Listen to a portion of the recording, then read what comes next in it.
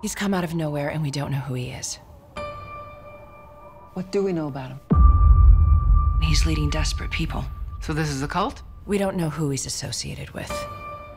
He could be creating an army. Or he could be leading them to their death.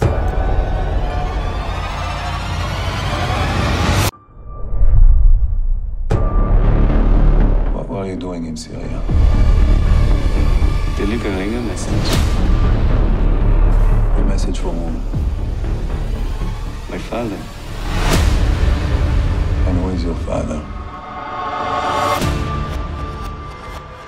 We've lost it. What do you mean?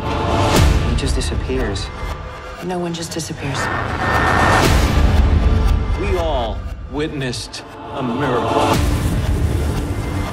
He saved my daughter's life. Long as you can. He didn't just click his heels and end up here. He clearly had help.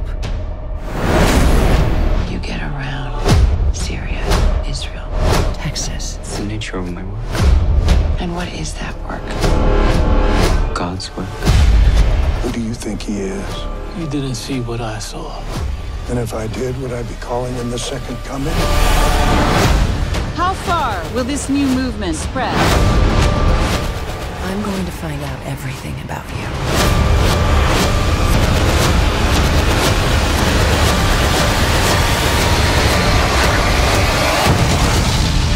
This is bigger than what you can imagine.